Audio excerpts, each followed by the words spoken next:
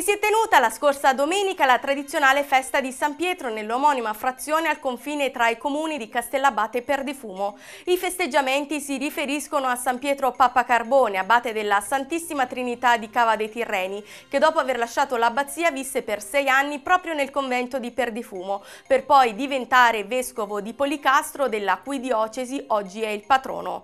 La processione per le vie cittadine ha visto la presenza dei sindaci sia di Castellabate che di Perdifumo e si è poi conclusa con i tradizionali fuochi pirotecnici.